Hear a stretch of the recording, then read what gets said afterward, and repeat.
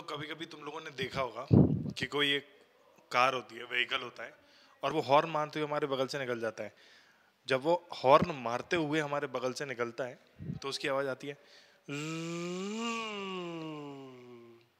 और या फिर कोई एंबुलेंस निकल जाती है फिर ट्रेन आती है तो हमें फील होता है कि जब वो ट्रेन हॉर्न मारते हुए हमारे बगल से निकली है तो वहाँ पर उसके साउंड में चेंज आया। अब ऐसा तो है नहीं है कि बीच में कोई हमारे आ, क्या कहते हैं उसके जो हॉर्न है उसी को बदल दिया या डिज़ाइनर हॉर्न है।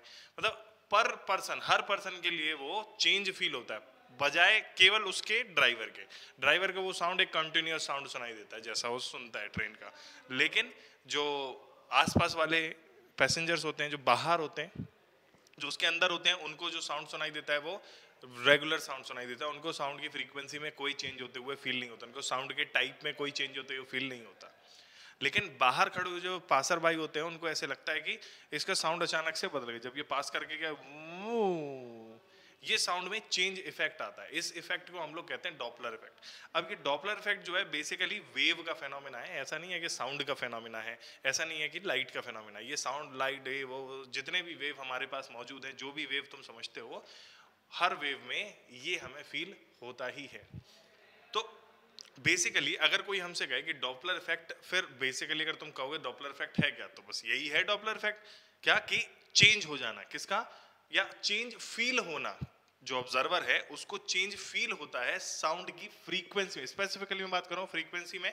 ऑल दो वेवलेंथ में भी चेंज फील होता है बट जो साउंड का टाइप तुम्हें सुनाई देता है ना पिच कम या ज़्यादा सुनाई देती है that is because of the frequency of sound तो फ्रीक्वेंसी ऑफ़ साउंड जो बदल जाती है या कहीं पर भी वेव की फ्रीक्वेंसी बदल जाती है right now we are talking about sound air तो फ्रीक्वेंसी जो बदल जाती है या बदलते हुए हमें फील होती है, जो पासर बाई होते हैं, वो अपरेंट चेंज इन फ्रीक्वेंसी कहलाता है हमारा, वो इफ़ेक्ट कहलाता है हमारा डॉपलर इफ़ेक्ट तो साधारण शब्दों में अगर कोई हमसे कहे कि भाई साहब डॉपलर इफ़ेक्ट बताओ तो हम बताएँगे whenever there is a relative motion see there is a relative motion. The point relative is very important here. The term relative motion is very important. Why? Because क्या होता है कि ऐसा ज़रूरी नहीं है कि केवल वो व्हीकल ही निकले कई बार हम भी निकल जाते हैं, कहीं पर साउंड हो रहा है और हम बगल से दौड़ते हुए निकल सकते हैं या व्हीकल पे हम निकल जाएँ और साउंड वहीं बज रहा है तो दी सिचुएशन में अकर ऐसा हो सकता है कि आगे कोई गाड़ी जा रही है और हम पीछे जा रहे हैं, आगे वाली हॉर्न बजा रही है और हम सुन रहे हैं उसको मतलब दोनों ही एक ही डायरेक्शन में जा रहे हैं। ऐसा भी हो सकता है, आगे से वो हमारी तरफ़ आ रही है और हम उसकी तरफ़ जा रहे हैं। मतलब डिफरेंट डिफरेंट सिचुएशंस पॉसिबल है। तो मेन चीज़ जो तुम्हें ध्यान रखनी है, वो है हमारा टर्म यहाँ पर रिलेटिव मोशन तो अगर relative motion between source and sound ठीक है? सोर्स बोले तो source and source of sound and observer source of sound and observer the frequency of sound heard by the observer is different from the actual frequency of sound emitted by the source. This phenomena of hearing different frequency by the observer, different than what? Different than the original frequency is the phenomena known as Doppler effect बड़ा ही साधारण सा है daily life में हमें देखने को मिलता रहा। हमने इसको कभी उतना सोचा नहीं होगा, पर ये सोचने वाली बात तो है। तो आमतौर पर क्या होता है, जैसे मान लेते हैं अपन दोनों लोग खड़े हुए हैं स्टेशनरी हैं, दोनों लोग सामने ध्यान से देखो तो आपको दिखाई देगा यहाँ पर कि जो ऑब्जर्वर है वो और जो सोर्स है, वो उससे जो साउंड वेव निकलती हैं, उनकी जो पर हर नई वेव फ्रंट उसे एक रेगुलर इंटरवल बाद मिलती रहती है। और एक सेकंड में जितनी नंबर ऑफ़ वेव्स मिल जाती हैं, उसको हम लोग कह देते हैं फ्रीक्वेंसी ठीक है? अगर दोनों आराम से खड़े हुए हैं, वो उसको सुन रहा है, कोई यहाँ पर सामने म्यूज़िक बज रहा है, हम सुन रहे हैं। सब ठीक है। दिक्कत तब आती है जब कोई चलना शुरू करता है। जैसे कि मान लेते हैं हमारे पास ये ऑब्जेक्ट ऑब्जर्वर तो वहीं का वहीं खड़ा हुआ है, लेकिन जो सोर्स है, वो ट्रेवल करना शुरू कर दिया।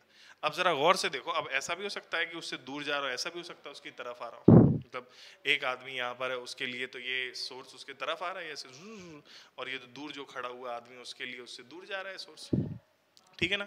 तो होगा क्या? ये जो पर्सन है इसको नाम, इसको इसको हम कुछ नाम दे देते हैं। लेट्स से हिम राम और इसको हम कुछ नाम दे देते हैं, इसको कह देते हैं रमेश। तो राम के लिए ये जो नंबर ऑफ़ फ्रीक्वेंसीज हैं, ज़्यादा मिलने लगेंगी। वाई बिकॉज़ सोर्स उसकी तरफ़ आ रहा है।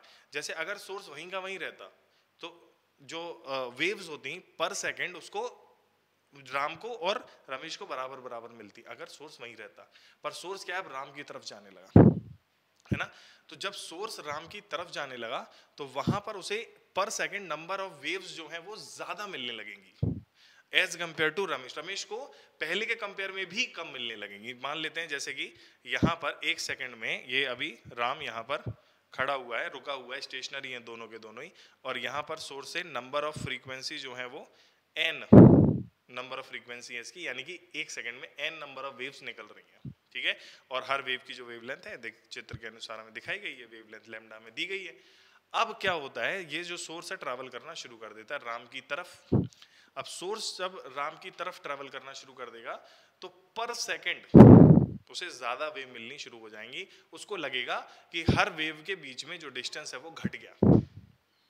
हर वेव के बीच में जो डिस्टेंस है वो घट गया, जबकि रमेश को लगेगा हर दो वेव के बीच में जो डिस्टेंस है वो सॉरी जो डिस्टेंस है वो बढ़ गया।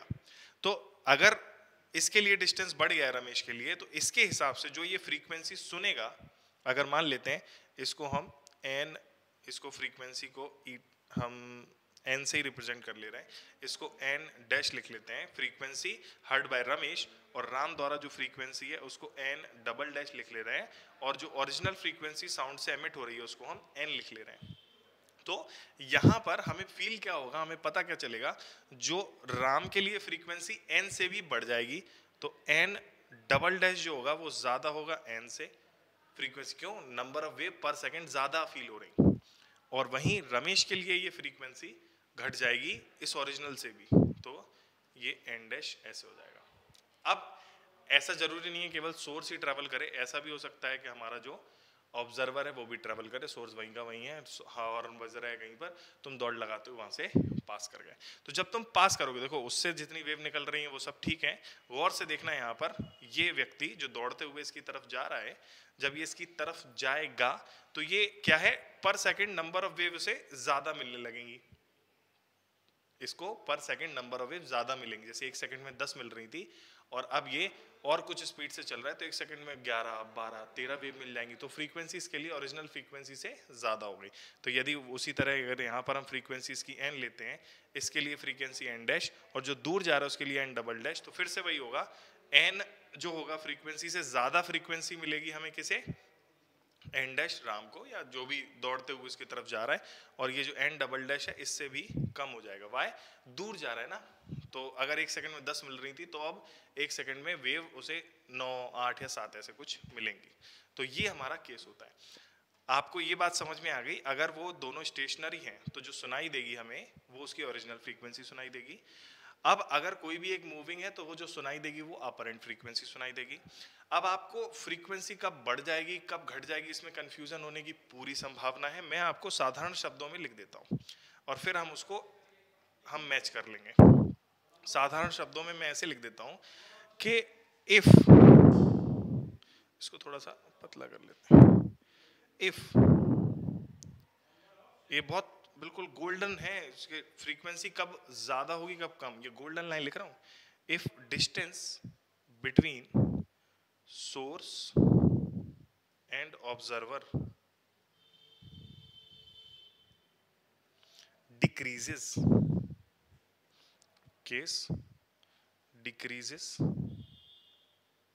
और दूसरे में इंक्रीजेस ये याद कर लो एक बार में, तुम कभी गलत कर ही नहीं पाओगे फिर।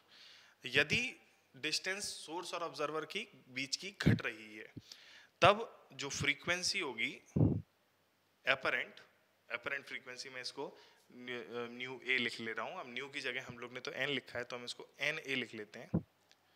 N a will be greater than original frequency और जब दूरी बढ़ेगी, यानी कि एक दूसरे से वो दूर जा रहे होंगे, तब फ्रीक्वेंसी घटते हुए अपियर होगी। तो अपरेंट फ्रीक्वेंसी कम हो जाएगी ओरिजिनल फ्रीक्वेंसी से।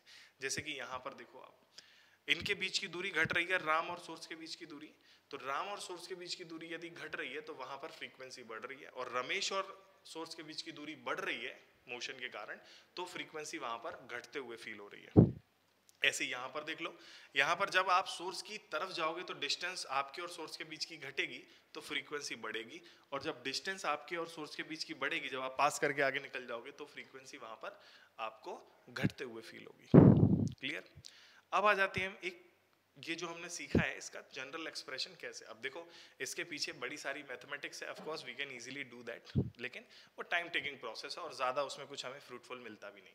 तो जो रिज़ल्ट है हमारा, एक जनरल एक्सप्रेशन हम लोग निकाल लेते हैं। जैसे कि यहाँ पर हमारे पास एक ऑब्जर्वर है, एक सोर्स है ऑब्जर्वर को मैंने ओ से रिप्रेजेंट करा है सोर्स को मैंने एस से रिप्रेजेंट करा हुआ है। Speed of source v s है, speed of observer v o है। अभी हाल फ़िलहाल जो डायरेक्शन बनी है, उस पर ज़्यादा फोकस करने की ज़रूरत नहीं है। V s is the speed of source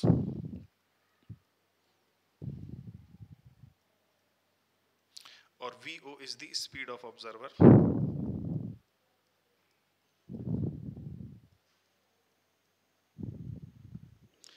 और यहाँ पर जो ये वी है, ये स्पीड ऑफ़ साउंड है।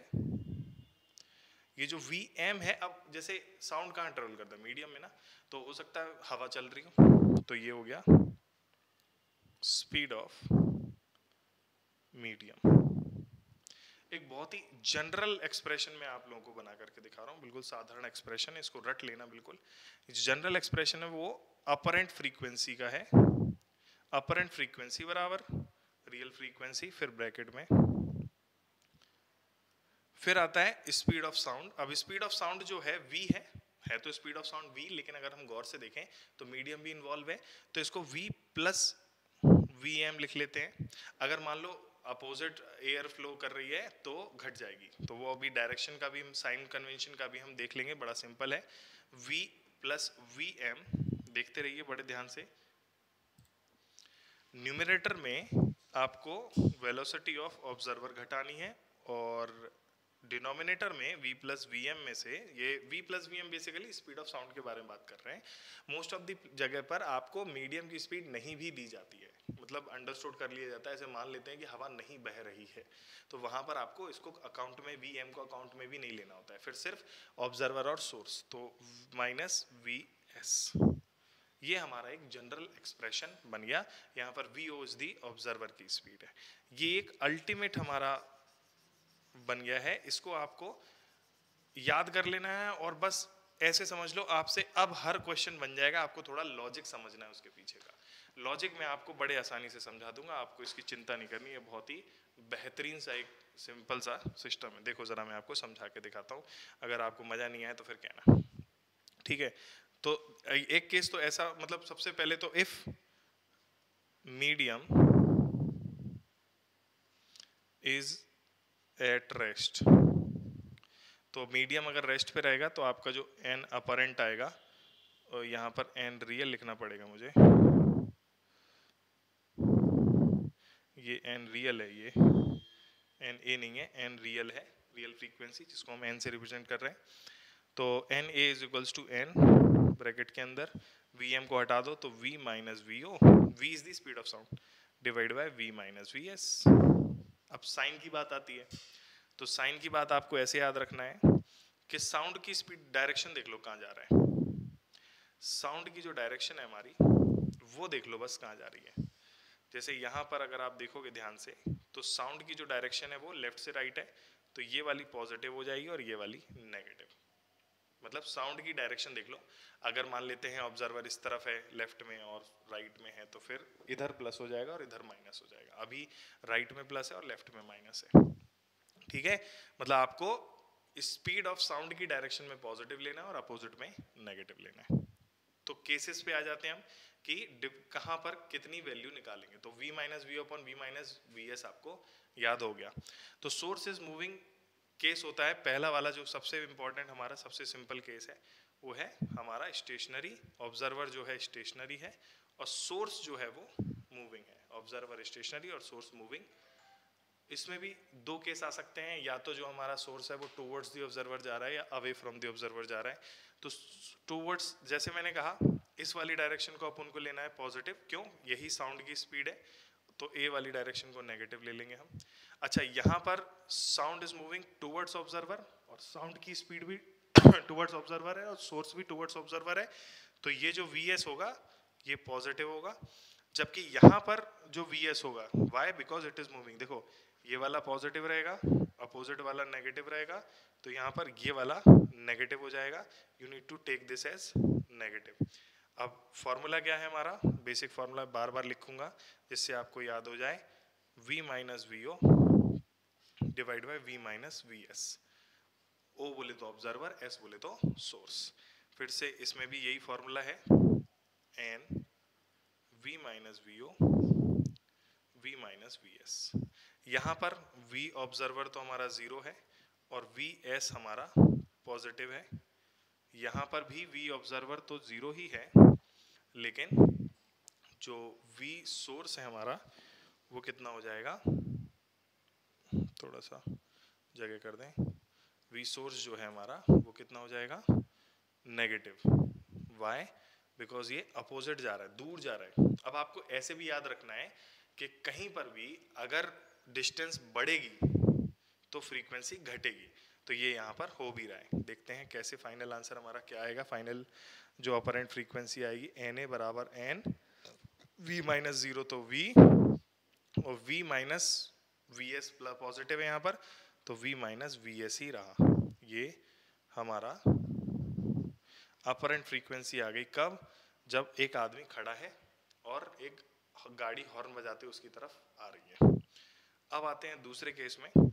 तो यहाँ पर अपरेंट फ्रीक्वेंसी आएगी हमारी n v divide by v minus v s है। तो अब नेगेटिव है वी एस तो हमारा तो नेगेटिव नेगेटिव पॉजिटिव हो जाएगा हमारा। तो फाइनल आएगा v minus minus plus v s ठीक है ना? तो यहाँ पर अगर हम न्यू डिनोमिनेटर बढ़ गया ना, हमारा डिनोमिनेटर पिछले वाले केस से डिनोमिनेटर बढ़ गया तो डिनोमिनेटर बढ़ जाएगा तो ओवरऑल आंसर हमारा छोटा आता है। तो ऑपरेंट फ्रीक्वेंसी हमारी छोटी आएगी। अच्छा ऐसा भी हो सकता है कि हमारा ऑब्जर्वर मूव कर रहा है और सोर्स हमारा स्टेशनरी है। बड़े ध्यान से देखें, आराम से, समझ में सब आएगा। तो observer is moving and source is stationary तो ऑब्जर्वर यदि इज़ मूविंग टूवर्ड सोर्स एक केस ये हो गया। तो यहाँ पर मैंने आपको कहा था कि साइन लेना है v की डायरेक्शन को पॉजिटिव लेना है और उसके अपोजिट को नेगेटिव यहाँ पर जो ऑब्जर्वर है वो इस तरफ़ जा रहा है तो ये हमारा नेगेटिव हो गया। जबकि इस वाले डायग्राम में अगर हम दूसरे वाले डायग्राम में देखते हैं ध्यान से तो इस, इस वाली डायरेक्शन को पॉजिटिव ले रहे ना जिस डायरेक्शन साउंड जा रहा है और उसका अपोजिट नेगेटिव तो ये वाली डायरेक्शन हमारी पॉजिटिव हो जाएगी। ये तो स्टेशनरी ही है। फिर से वो पूरा वाला फॉर्मूला जनरल एक्सप्रेशन लिखते हैं। जनरल एक्सप्रेशन कहता है एन ए बराबर एन एन है original frequency v minus v o divide by v minus v s observer और वी एस सोर्स तो यहाँ पर सोर्स हमारा क्या है? स्टेशनरी दोनों ही केसेस में। तो नीचे तो अकेला v बचेगा। ऊपर, अब अपोजिट जा रहा है तो प्लस हो जाएगा तो एन ए आएगा यहाँ पर हमारा। N v minus minus v o divide by v तो एन ए की वैल्यू आ जाएगी हमारी finally n v plus v o divide by v मस्त एकदम, समझ में आ रहा है ना क्लियरली उसी तरह सिमिलरली अगर हम यहाँ पर आए तो एन ए मैं डायरेक्ट लिख दूँ क्या?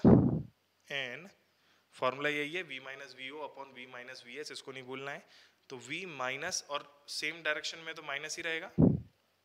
और सर सोर्स तो हमारा स्टेशनरी है तो वी आ जाएगा। ये इसका वाला हमारा अपरेंट फ्रीक्वेंसी निकालना आ गया। उम्मीद करते हैं तुम लोगों को समझ में आ रहा होगा। बड़ा आसान है। बार बार मैं यही फॉर्मूला लगा रहा हूँ। हो सकता है तुम लोग बोर भी हो जाओ अगले दो तीन मिनट के लिए। लेकिन ये समझ लो फ्री के नंबर हैं अपने। अगर एग्ज़ाम में क्वेश्चन ऐसे आते हैं तो मुफ़्त के नंबर मिल जाते हैं हमें। देखते चलो, चिंता की बात नहीं है। तो केस थ्री है observe and source both are moving अभी एक एक मूविंग था बोथ आर मूविंग ये केस बड़े सारे पूछे गए हैं हमारे। ऑब्जर्वर एंड सोर्स दोनों एक दूसरे की तरफ़ आ रहे हैं। ठीक है? दिखाई दे रहा है ना? ऑब्जर्वर एंड सोर्स दोनों एक दूसरे की तरफ़ आ रहे हैं। अब अपरेंट का जो फॉर्मूला आएगा एन ए बराबर n real v minus v o और वी माइनस वी एस तो वी माइनस ये इसकी तरफ़ आ रहा है तो ये हमारा कैसा लेंगे हम? नेगेटिव तो v minus minus minus plus हो गया वी ओ डिवाइड बाय ये कैसा हो गया हमारा? पॉजिटिव तो वी माइनस वी एस आ गया। दूसरे वाले केस में देखते हैं ऑब्ज़र्व एंड सोड moving away from each other अब अवे है तो ये वाले को पॉजिटिव ले लेंगे, अब ये पॉजिटिव नेगेटिव कैसे है, एक बार फिर याद दिलाता हूँ जो स्पीड ऑफ़ साउंड है उसको देखो। इसकी डायरेक्शन जो है उसको पॉजिटिव लेते हैं और इसके अपोजिट जो है उसको नेगेटिव लेते हैं। तो यहाँ पर हमारा आएगा एन ए बराबर एन वी माइनस वी होता है।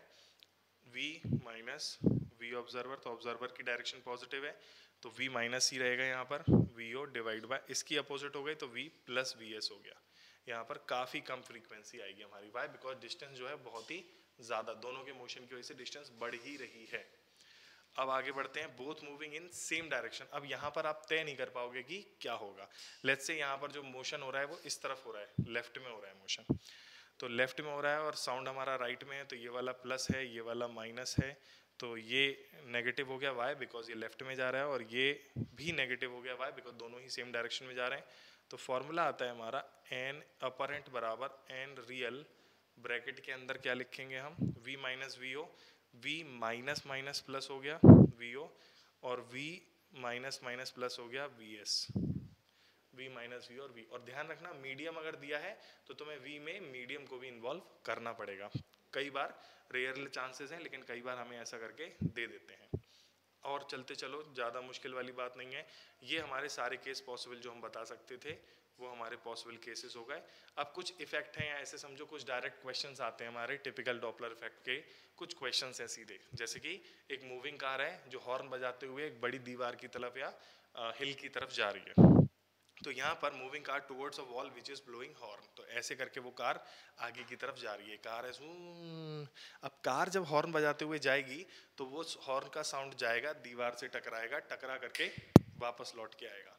ठीक है? अब जब वो लौट के आएगा तो अब जो बजा रहा था वो ऑब्जर्वर हो गया। इसको समझो जरा टू स्टेप प्रोसेस है। कैसी प्रोसेस है? पहले हमें वो फ्रीक्वेंसी निकालनी है जो टकराएगी। देखो क्या है कि जो सोर्स है हमारी कार, वो किसकी तरफ़ जा रही है? दीवार की तरफ़ जा रही है। सोर्स है, इधर से आ रहा है दीवार की तरफ़ जा रहा है, ये दीवार है हमारी। ठीक है ना? मतलब ये तुम्हें दिखाई दे रहा होगा, ये दीवार है हमारी। और इस दीवार की तरफ़ वो कार ऐसे करके आ रही है। अब वो हॉर्न बजाएगी उधर से। तो इस दीवार को वो जो कार है हमारी, उसका हॉर्न का ओरिजिनल फ्रीक्वेंसी सुनाई नहीं देगा। ध्यान रख रहे हो ना? उस कार का, इस दीवार को ओरिजिनल फ्रीक्वेंसी सुनाई नहीं देगा। अब इसे अगर ओरिजिनल फ्रीक्वेंसी सुनाई नहीं दिया तो अपरेंट पहले इसके लिए निकालो। ठीक है? फिर उसके बाद होगा क्या? नेक्स्ट स्टेप में जब हम वो निकाल लेंगे तो नेक्स्ट स्टेप में आएगा कि जो ऑब्जर्वर होगा, वो कार हो जाएगी। ठीक है ना? अब इसको क्या लगा? ये जो हमारा ये मैंने बना रखा है ना, ऐसा ये, ऐसे नहीं कि असली में कोई कार आ रही है, पर जो एको साउंड आ रहा है it's like a car is coming towards the car is stationary और उसके जो ऑब्जर्वर है हमारा, ये वाली जो कार है, वो इसकी तरफ़ आ रही है। तो फ़र्स्ट स्टेप में आपको ये निकालना है। Moving car towards wall which is blowing on first step में निकालना है। द फ्रीक्वेंसी ये जो हिट करेगी। Frequency of sound which hits the wall let's say वो एन डैश है तो एन डैश की वैल्यू कितनी आएगी? Source is moving towards so n v minus v अब जो ऑब्जर्वर है हमारा वी अपन वी एस होता है तो ऑब्जर्वर तो हमारा स्टेशनरी है तो वी माइनस वीओ की जगह वी ही रह गया। माई वी अब ये उसी तरफ़ जा रहा है, जिस तरफ़ साउंड जा रहा है तो माइनस ही रहेगा। वी माइनस वी एस ये वो स्पीड है हमारी, वो फ्रीक्वेंसी है जो वॉल को हिट हुई। This frequency would reverse back अगर इधर एंडस फ्रीक्वेंसी का साउंड टकराया है तो यहाँ से एंडस फ्रीक्वेंसी का ही साउंड टकरा करके वापस जाएगा। This would reverse back so echo frequency. Frequency change नहीं होती एको बस स्पीड डायरेक्शन चेंज हो जाती है. Echo frequency will be same as incident frequency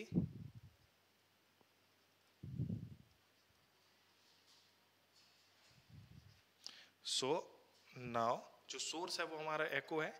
Now here now echo sound is acting as source.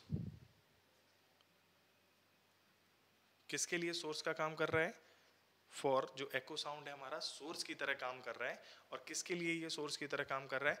For car as an observer आप diagram में देख रहे हो? कार एज एन ऑब्जर्वर के लिए सोर्स की तरह काम कर रहा है। तो होगा क्या? अब ऐसे समझ लो इमेजिनरी सोर्स है, इसकी जो फ्रीक्वेंसी तुम्हें मिल रही है, वो मिल रही है एन डैश अब यही एन रियल है। तो अब यहाँ पर ये केस कौन सा बन गया? अब साउंड की जो मोशन की डायरेक्शन देख रहे हो, मस्त एकदम। अब जो डायरेक्शन है, इसको पॉजिटिव लोगे तुम और इसको तुम नेगेटिव लोगे। वाई बिकॉज़ साउंड अब राइट से लेफ़्ट जा रहा है। वाई बिकॉज़ सोर्स जो है, वो अब दीवार से आने वाला एको साउंड हो गया। तो it's like an imaginary source stationary there तो इसके बाद अब जो तुम्हारा ऑब्जर्वर है, उसको जो frequency milli let the frequency observe is n dash sorry n dash तो वो आ रही है तो n double dash so the n double dash will be n dash. Now here, imaginary source, this would be at rest. Why? Because दीवार तो चल के आने नहीं वाली ना। और अब हमारा जो ऑब्जर्वर है वो ही वी कार हो गया। तो कितना आएगा हमारा? यहाँ पर ध्यान से देखिएगा। जो v माइनस वी होता है ऑब्जर्वर हमारा कार है, अब अपोजिट डायरेक्शन में जा रहा है तो minus minus plus v car divide by v minus v s तो s तो ज़ीरो है एन डैश हो गया। ज़रा ऊपर बढ़ के देखो ज़रा, यहाँ पर एन डैश की वैल्यू क्या थी? N v upon v minus v s यहाँ पर सोर्स क्या है? कार सो हाँ सोर्स क्या है यहाँ पर? कार और अगले में ऑब्जर्वर क्या है? कार तो कार ऊपर इस बार वेलोसिटी आई और इसमें वेलोसिटी कार की नीचे आ रही है। तो अब एन डैश की वैल्यू यहाँ से n v upon v minus v c रख देते हैं। सो वी वुड गेट इसको यहाँ से हटा दो। So we would get n double dash बराबर एन डैश एन नहीं। एन डैश की वैल्यू यहाँ से रख लेते हैं हम।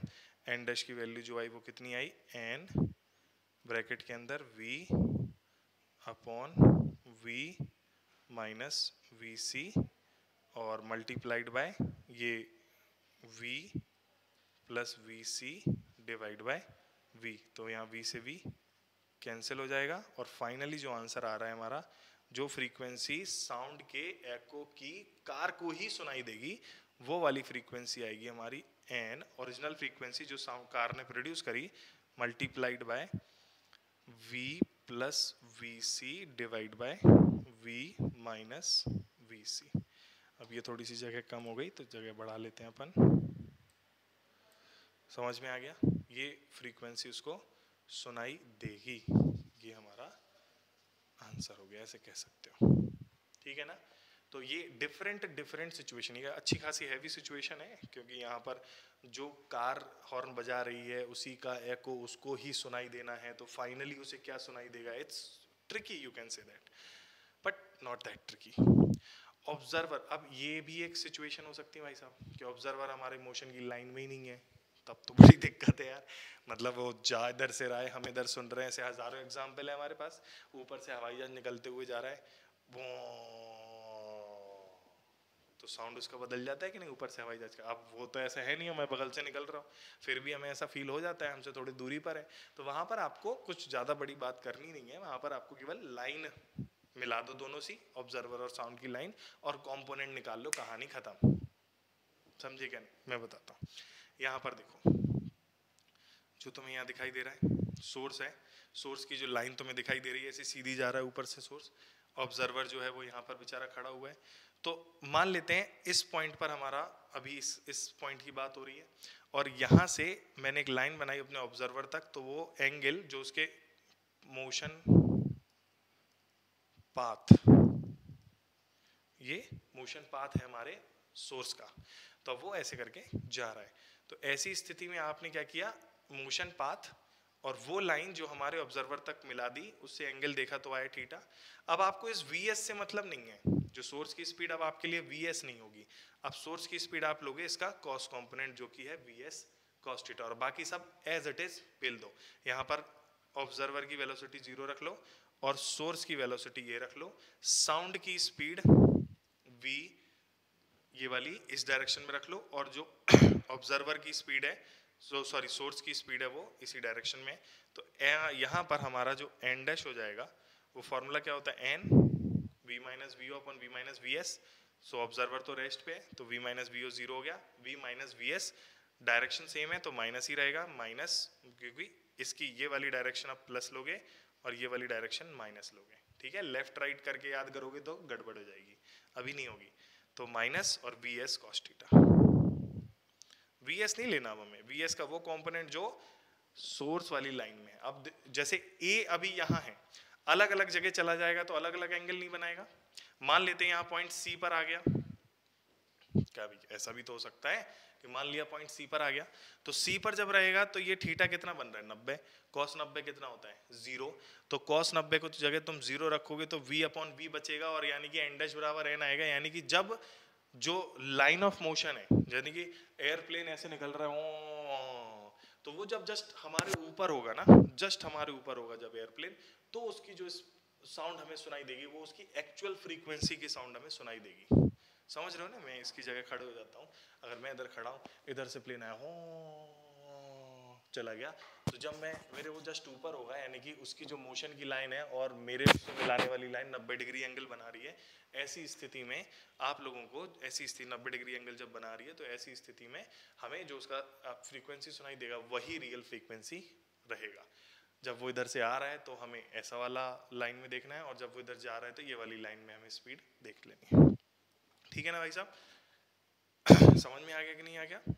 अब हम बात करते हैं एक और इंटरेस्टिंग केस की। दो कार हैं। ये जो कार वन है you can say this is source and car two here is observer acting as observer अब तुम फिर फंस गए तो फंसना नहीं है। ये इधर जा रहा है, उधर जा रहा है, चूल्हे में जाए। तो मैं तो एक काम करना है, ये कंपोनेंट इधर निकाल लो। इसको मिल, दोनों को मिला दो सोर्स और ऑब्जर्वर को। सो लाइन बन गई उनकी मोशन वाली। वो लाइन जो जो हमारे को कंसर्न करती है। तो इस पर जो वेलोसिटी आई, वो आई v one cos theta one और उसी तरह इसकी वेलोसिटी अच्छा अगर ये थीटा टू बनता है तो ये फिर यहाँ पर थीटा टू बन जाएगा। तो इसकी वेलोसिटी इधर हो गई v two cos theta two और जो साउंड का डायरेक्शन साउंड का मोशन होगा, वो ये हो गया। तो ये वाली को प्लस लेंगे साइड को और अपोजिट वाली साइड को माइनस लेंगे। तो ये माइनस में लिखोगे और ये प्लस में। ये हो गया हमारा वी सोर्स प्लस में और वी ऑब्जर्वर माइनस में। तो फाइनली जब हम इसका आंसर निकाल रहे होंगे तो एन डैश का ऑब्जर्वर टू के द्वारा तो एन डैश या एन अपरेंट बराबर n v minus v o तो वी माइनस माइनस प्लस हो जाएगा। V two cos theta two divide by v minus v तो v माइनस प्लस है तो माइनस ही रहेगा। V one cos theta one ठीक है? ये हमारा सोर्स और ऑब्जर्वर के बीच का रिलेशन हो गया। आपको ज़्यादा ज़्यादा दिमाग लगाने की ज़रूरत नहीं है। आपने तो वो फॉर्मूला याद कर लिया। पहला वाला उसी को रट रहे हैं बार बार उसी को दुनिया भर में लगा रहे हैं। और एक चीज़ और आपको बेसिक मैंने याद करने को बोली थी कि आपको ये याद कर लेना है कि डिस्टेंस उनके बीच की घट रही है या बढ़ रही है। अगर घट रही होगी डिस्टेंस तो फ्रीक्वेंसी बढ़ेगी और बढ़ रही होगी डिस्टेंस तो फ्रीक्वेंसी हमारी घटेगी। बस इतना सिंपल है, इतनी चीज़ें तुम्हारे लिए आसान हो जाएँगी ना, तुम चाहे जितने हैवी सवाल ले लो, चाहे जितने हैवी सवाल तुमसे बनने लगेंगे, लेकिन तुम उसके लिए तुम्हें ये बेसिक लॉजिक समझना पड़ेगा। जब वो तुम्हारी तरफ़ आ रहा होगा या तुम उसकी तरफ़ जा रहे होगे बेसिकली डिस्टेंस घट रही होगी तो ऑटोमेटिकली तुम ज़्यादा नंबर ऑफ़ फ्रीक्वेंसी रिसीव करोगे ना। वेवलेंथ घट जाएगी तुम्हारे लिए अपरेंट वेवलेंथ कम हो जाएगी। तो वहाँ पर हमें ये कॉन्सेप्ट समझना है। हमारे दिमाग में फील आनी चाहिए। अब अगली बार तुम जब गाड़ी से हॉर्न बजते हुए कहीं सुनो ना तो डेफिनेटली इसको तुम फील करोगे। हाँ यार साउंड तो बदल रहा है। डेफिनेटली चाहे कोई केस ले लो तुम डेफिनेटली तुम फील करोगे। ठीक है ना? तो ये हो गया हमारा। अब एक बहुत बार बार एक बड़ा पूछा गया सवाल है कि वो घूम रहा है गोल चक्कर में, घूम रहा है गोल चक्कर में। अरे घूमने दो यार। तो सोर्स या ऑब्जर्वर जो है हमारा रोटेट कर रहा है। ये वाला भी है। कि हमारा सोर्स और ऑब्जर्वर जो है वो रोटेट कर रहा है। तो रोटेटिंग सोर्स या ऑब्जर्वर तो रोटेटिंग सोर्स या ऑब्जर्वर जैसे कि पहले में ये वाला हो गया हमारा। अभी देखो, तुम्हें आदमी दौड़ लगा रहा है, ये सोर्स स्टेशनरी है। ठीक है ना? साउंड इधर लेफ़्ट से राइट जा रही है। पॉइंट्स बना रहा हूँ मैं कुछ। एक पॉइंट इधर बनाया मैंने। एक पॉइंट इधर बनाया मैंने। एक पॉइंट इधर बनाया मैंने, एक पॉइंट इधर बनाया मैंने। तुम कहो तो सर रैंडम पॉइंट तो मैं रैंडम भी बना सकता हूँ। अब यहाँ पर जो स्पीड की डायरेक्शन है, इसकी ऑब्जर्वर की वी ओ है। यहाँ पर जरा गौर से देखो सोर्स साउंड जिस डायरेक्शन में जा रहा है, ये भी उसी डायरेक्शन में जा रहा है। इस पॉइंट पर का नाम रख दो इन पॉइंट्स के। ए बी सी और टी ठीक है? तो पॉइंट ए पर जो डिस्टेंस है, वो बढ़ रही है। तो फ्रीक्वेंसी पॉइंट ए पर जो ऑब्जर्वर को सुनाई देगी, वो घटेगी। पॉइंट बी पर जो फ्रीक्वेंसी है, वो चेंज ही नहीं हो रही। वाई बिकॉज़ ये ऐसे जा रहा है यहाँ पर। मतलब परपेंड जो साउंड की डायरेक्शन ऐसी और उसका मोशन ऐसे अभी नहीं देखा नब्बे डिग्री पर? मोशन के साथ नब्बे डिग्री अगर लाइन बनाती है तो ज़ीरो आता है। अभी देखा ना जस्ट तो यहाँ पर जो सुनाई देगी बी पर जो, जैसे इसमें से जो फ्रीक्वेंसी निकल रही है, वो है एन तो बी पर जो एन बी पर जो फ्रीक्वेंसी आएगी वो एन ही होगी और उसी तरह एन डी पर जो फ्रीक्वेंसी होगी वो भी एन ही होगी। वाई बिकॉज़ यहाँ पर डिस्टेंस चेंज नहीं हो रही। या फिर अभी जो हमने बताया कि जब वो एक लाइन में नहीं होते हैं मोशन लाइन सेम नहीं होती है तो वहाँ पर हम एंगल से करते हैं वी थीटा कॉम्पोनेंट निकाल के। जैसे कि अगर रेंडमली यहाँ पर हमें निकाले तो फिर हमें इसके साथ इसका एंगल देखना पड़ेगा। इस वाली लाइन का एंगल फिर कॉस थीटा करके फिर सॉल्व करके अभी जैसे पीछे किया था फिर करेंगे। मुझे नहीं लगता कोई इतना हैवी तुमसे पूछने वाला है अभी हाल फ़िलहाल बट स्टिल इस पॉइंट पर, इस पॉइंट पर, इस पॉइंट पर ए बी सी डी चारों पॉइंट पर तो पूछने की भरपूर संभावना है। तो तुम्हें जब पॉइंट ए पर आएगा तो एन ए की जो वैल्यू आएगी एन रियल ब्रैकेट के अंदर v minus v o v minus नहीं, और पॉजिटिव ही रखेंगे इसको v o divide by v हो जाएगा। और एन सी पर जो रहेगा एन वी इधर पर अपोजिट डायरेक्शन में तो माइनस माइनस प्लस हो गया v o divide by v हो गया। ऐसे, ये पूछने की संभावनाएँ हैं। तो परपेंडिकुलर जहाँ पर मोशन हो रहा है लाइन ऑफ़ स्पीड के मतलब साउंड आ रहा है इधर से। इधर से, और मैं जा रहा हूँ इधर। तो परपेंडिकुलर मोशन हो गया ना तो परपेंडिकुलर के केस में हमारा ऐसे ही आता है। जी, कोई चेंज नहीं होता। अच्छा यहाँ पर देखो, मैंने सुना डिस्टेंस डिस्टेंस का यहाँ पर बहुत रोल रोल है। यहाँ पर एक ऑब्जर्वर है जो बिल्कुल बीच में खड़ा है। बिल्कुल सेंटर में खड़ा है। ये जो है सेंटर ऑफ़ सर्किल जिस पाथ में ये ओमेगा से एंगुलर वेलोसिटी से घूम रहा है, ये उसका सेंटर है। तो सेंटर है तो इसकी और इसके बीच की दूरी हर बार आर रहेगी, या फिर दूसरे शब्दों में बोलें तो आर और जो मोशन है वी के बीच में एंगल जो बनेगा, हमेशा 90 डिग्री का बनेगा। दोनों ही केस एक ही बात है।